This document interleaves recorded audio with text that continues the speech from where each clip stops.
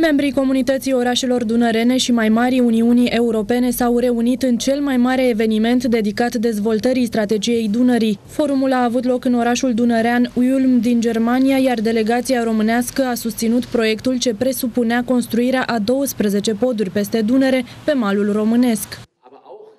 Cel de-al patrulea forum anual pentru dezvoltarea strategică a regiunilor dunărene a fost urmărit de oficialitățile orașelor dunărene, dar și ale Uniunii Europene, precum și diverse ONG-uri. Evenimentul a găzduit numeroase conferințe unde s-au discutat în speță despre posibilitățile de evoluare și potențialul economic pe care îl are Dunărea de Jos, adică partea ce traversează teritoriul României în special. În deschiderea forumului a avut loc cea de-a opta conferință a regiunilor și orașelor dunărene. Acolo acolo unde Jürgen Eisele, coordonatorul Institutului Tehnologic din Sofia, a prezentat proiectul celor 12 poduri, inițiat chiar de domnia sa în interesul țărilor din regiunea Dunării de Jos.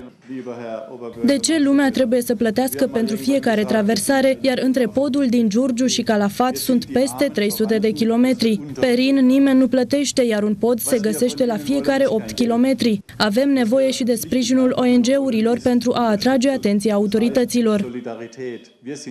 Proiectul se bucură de popularitate în rândul oficialilor europeni, la eveniment fiind miniștri, primari și comisari ai Uniunii Europene. Reprezentanții comunităților dunărene s-au arătat interesați și susțin acest demers. Ați urmărit uh, spiciul domnului Aizele, care și cu harta asta pe care o avem în spate a vorbit la modul concret de traversarea Dunării, uh, de la intrare în țară până la vărsarea Dunării în, uh, în Marea Neagră.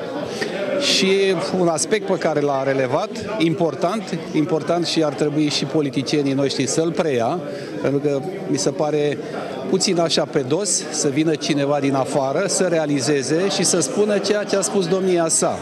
A spus că sunt peste 5 milioane de oameni, o populație de peste 5 milioane în jurul Dunării, numai pe cursul, deci pe cursul uh, uh, riveran uh, României, uh, care merită cu prisosință merită orice dezvoltare de infrastructură pe, pe zona asta.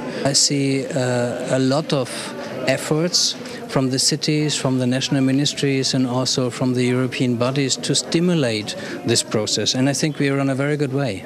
Ar fi cea mai bună cale de traversarea Dunării pentru camioanele de marfă care vin pe ruta Sibiu, Râmnicu Vâlcea și ar trece în Bulgaria spre Sofia chiar. Nu știu, s-a mai încercat de mai multe ori această realizare a acestei treceri peste Dunăre.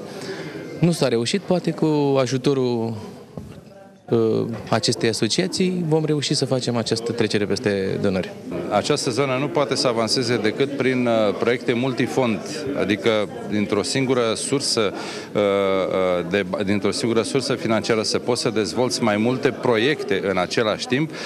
S-a considerat că un astfel de instrument este strict necesar la nivelul Uniunii Europene, lucru care s-a și întâmplat, pentru că suntem singurul instrument din țară în momentul de față.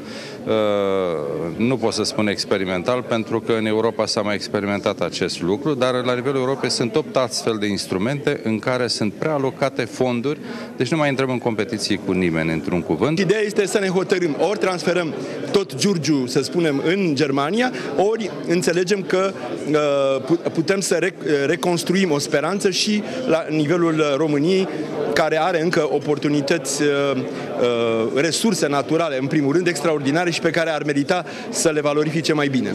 S-ar putea ca viața să ne arate că peste 5 ani mai sunt nevoie de 7, s-ar putea să ne arate că mai sunt nevoie de 14. Deci lucrurile sunt într-o, într-o dinamică și cred că trebuie să ne gândim în, în modul acesta.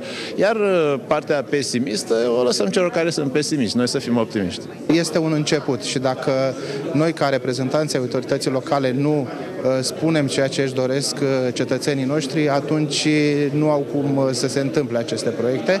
Printre cei mai importanți reprezentanți români s-au numărat Comisarul European pentru Politici Regionale Corina Crețu, dar și Ministrul de Externe Bogdan Aurescu, care au vorbit întregii adunări despre importanța integrării. Ministrul Turismului bulgar Nicolina Angelcova a vorbit despre potențialul turistic al zonei dunărene.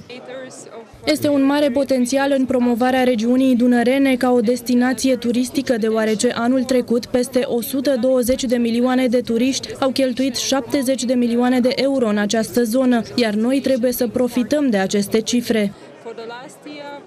Reprezentanții delegației românești au dezbătut împreună cu inițiatorul proiectului celor 12 poduri, Jürgen Aizele, posibilitatea finanțării de către Banca Europeană de Investiții. Asociația Umanitară Uniți pentru Giurgiu, reprezentată de doctorul Ladislau Pic, a susținut de asemenea proiectele comunitare și transfrontaliere, iar în cadrul forumului Dunărean a realizat strânse legături cu alte ONG-uri din țară. Este o ocazie deosebită de a cunoaște alte organizații din țară, din alte țări, de a discuta, de a face un schimb de experiențe, schimb de impresii și să constatăm că, de fapt, avem un scop comun, avem o cauză comună și este bine să ne întâlnim și să vedem dacă avem, putem să avem niște rezultate concrete, apoi să le aplicăm, să mergem acasă și să le aplicăm.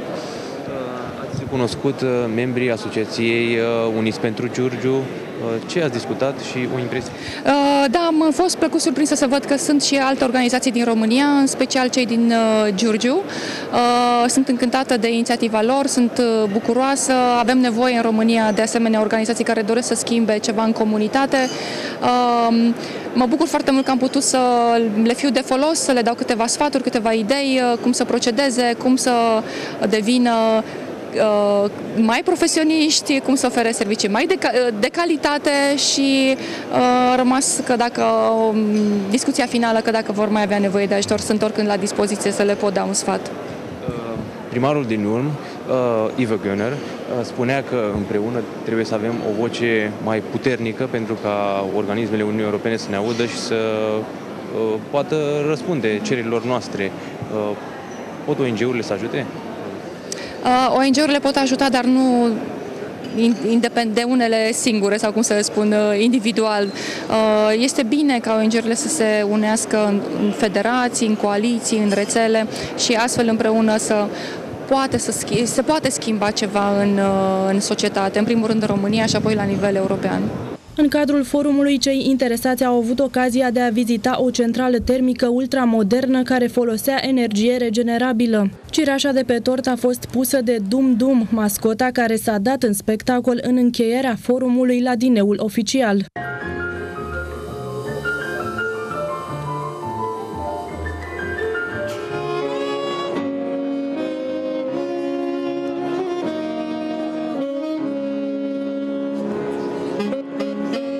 Dunărea unește 10 țări pe o distanță de aproape 3000 de kilometri, iar potențialul său economic este de un nivel înalt, însă în zona Dunării de jos este nevoie de ajutor din exterior pentru ca resursele să-i fie exploatate.